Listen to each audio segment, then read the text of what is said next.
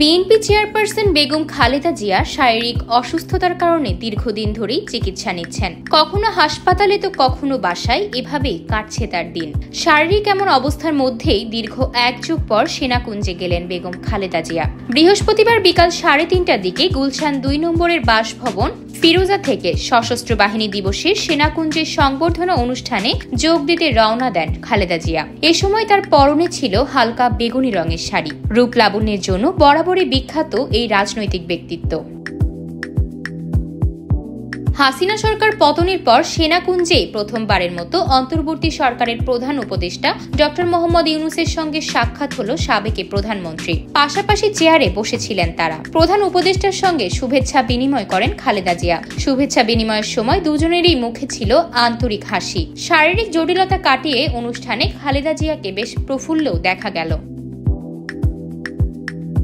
এ সময় ডক্টর ইউনুস বলেন, শহীদ রাষ্ট্রপতি জিয়াউর রহমানের স্ত্রী বেগম খালেদা জিয়া এখানে এসেছেন।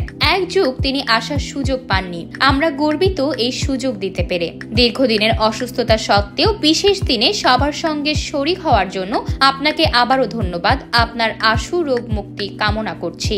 আজ আমরা বিশেষভাবে সৌভাগ্যবান এবং সম্মানিত যে বাংলাদেশের তিনবারের নির্বাচিত প্রধানমন্ত্রী বীর মুক্তিযোদ্ধা শহীদ রাষ্ট্রপতি জিয়াউর রহমানের স্ত্রী বেগম খালেদা জিয়া আজ এখানে আমাদের মধ্যে উপস্থিত আছেন।